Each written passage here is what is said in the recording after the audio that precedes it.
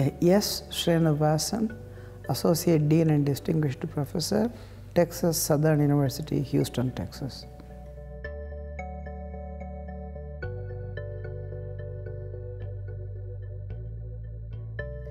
I was able to meet a lot of professionals from various industries.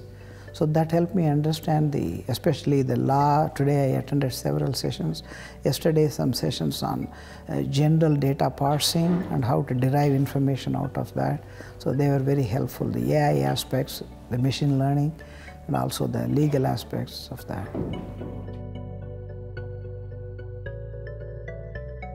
Because you are able to derive knowledge from uh, apparently disparate data and use that information very effectively.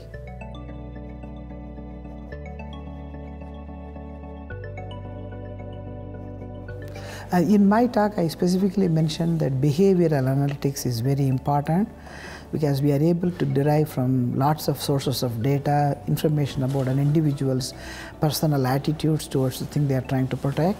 So if those things change over a period of time, which invariably it does, the organization should keep track of that.